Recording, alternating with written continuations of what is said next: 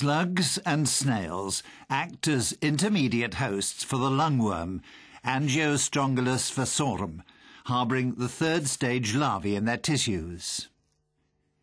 If a dog eats an infected slug or snail, the worm larvae are freed by digestion of the mollusk in the dog's intestine. The larvae penetrate the gut wall and move to the regional lymph nodes, where two further molts take place. The fifth stage larvae then migrate via the liver and caudal vena cava to the right ventricle. Ten days post-infection, the larvae have reached the right ventricle and pulmonary artery, where they develop to maturity.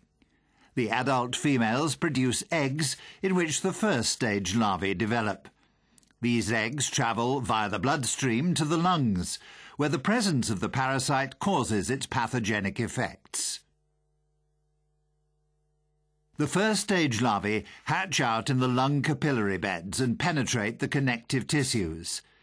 This results in a marked inflammatory reaction, with the development of granulomas, hemorrhage and fibrosis. The larvae cross into the alveoli and migrate to the trachea. They are coughed up and subsequently swallowed.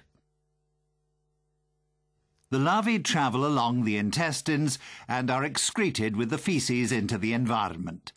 Slugs and snails that come into contact with the feces are infected with these first stage larvae via oral exposure. Inside the mollusk, development to the infective third larval stage occurs and a new cycle begins.